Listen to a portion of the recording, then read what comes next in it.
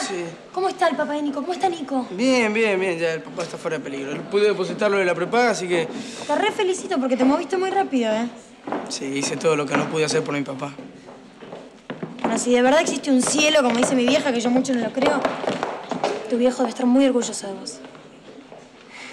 Toma, gracias. Ay, no sabés lo que pasó. Cuando vos llamaste, recibió el mensaje mío y no me lo quería decir, menos mal que estaba Bueno, no importa, ahí, no me lo importa, dijo. no importa. Lo importante es que salió bien, el papá de Nico está fuera de peligro.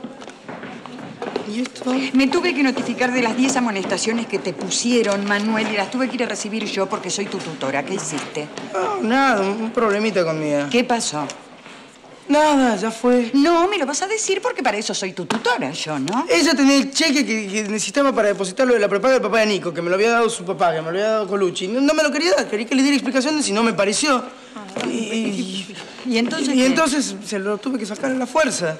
Y armó un escándalo así y, y apareció Blas. Sí, pero es una yegua, con perdón de los caballos, es una Bueno, yegua. mira, Manuel, te tenés que cuidar porque Dunov bajó la cantidad de amonestaciones para los becados. 20 amonestaciones te echan. Más de dos materias con notas bajas también te echan. Ok. Te cuidas. Me voy a cuidar. Este sí, pero que es un colegio y todos los caretas que están acá adentro me tienen harta. Mía va a pagar por cada una de las no amonestaciones que te no me pusieron. importa, Mía, pero la voy a matar, te juro. No, No, me toques no. porque te juro que Quieta, contra agarre la mato porque es una quieta. porquería.